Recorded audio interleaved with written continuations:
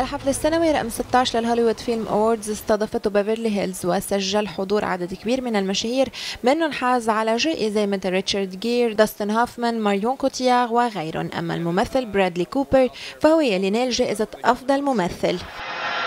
عائلة وأصدقاء الراحلة ويتني هيوستن تجمعوا بإحدى فنادق منهاتن للاحتفال بانطلاق العرض الأول من ال reality show يلي رح يظهروا فيه وبيعرض للناس حياتهم من بعد الفاجعة يلي أصابتهم برحيل ويتني والدة ويتني سيسي وبنتها بوبي كريستينا من المتوقع أنهم يكونوا نجوم هالبرنامج. سباق جزازات العشب مثل كل سنة عم بصير ببريطانيا وما عم بيخلى من الحماس والمجازفة. والسنة الأجواء الممطرة والوحل ما أحبطوا أبدا من عزيمة المشاركين مع أنه السيطرة على هالمكانات صعب كتير بهيك أجواء.